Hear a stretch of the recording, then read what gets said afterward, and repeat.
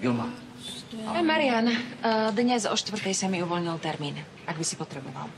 mám síce roboty ako na kostole, ale na svoje osobnosti vždy rád zapracujem. Najmä s tebou. Ma teší. Vilma, Áno? veľmi si mi pomohla. Naozaj.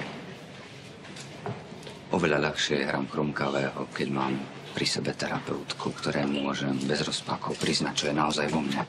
To som rád. Mám nový akčný plán. Áno, aký?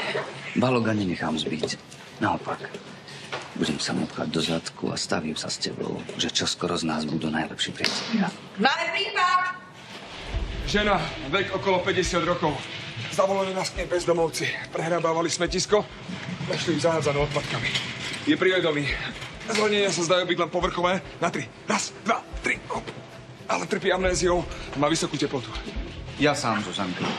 Také pekné a voňavé žienia si predsa nebude špiniť ruky s bezďačkou. To je práca pre chlapov. Na sono. Poďme. To myslel vážne? Čo? No, lebo ja som všetko len nie nežná. To bol sarkazmus. Zuzia. A vieme, kto to je? Ako sa volá? Nemala pri sebe doklady, ale policia už pátra po jej identite.